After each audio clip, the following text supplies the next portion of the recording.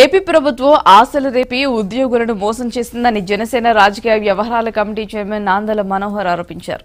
పియాసీ ద్వారా జీతాలు పెరుగుతాయని భావించిన ఉద్యోగులను తీవ్ర నిరాశకు గురిచేశారు ఉద్యోగులకు ఇప్పటికే ఎక్కువ ఇచ్చాం కాబట్టి వెనక్కి ఇవ్వాలనే విధంగా ప్రభుత్వం వ్యవహరించడం ఎప్పుడూ చూడలేదని దుయ్యబట్టారు.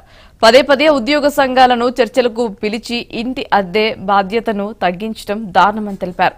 ఉద్యోగులకు రావాల్సిన డిఏలను గతంలో ఎక్కువ ఇచ్చాం కాబట్టి ఇప్పుడు హెచ్ఎస్ఏ రుణం వసూలు చేసుకుంటున్నామని చెప్పడం చూస్తుంటే ముఖ్యమంత్రి పాలన చేస్తున్నట్లుగా లేదని విమర్శించారు.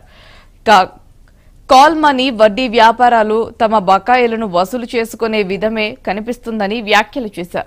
డెబ్బై సంవత్సరాలు పైబడిన వారికి చేక్ వండన్స్ ఫైనల్ అర్హతను ఎనభై ఏళ్ళకు మార్చడం వృద్ధాప్యంలో ఉన్నవారిని బాధ పెట్టడమే అవుతుందని ప్రభుత్వ ఉద్యోగులు ఉపాధ్యాయుల జీవితాలపై ప్రభావం చూపించే విధంగా జారీ చేస్తున్న జీవోలను తక్షణమే రద్దు చేయాలి అని నాందెల డిమాండ్ చేశారు.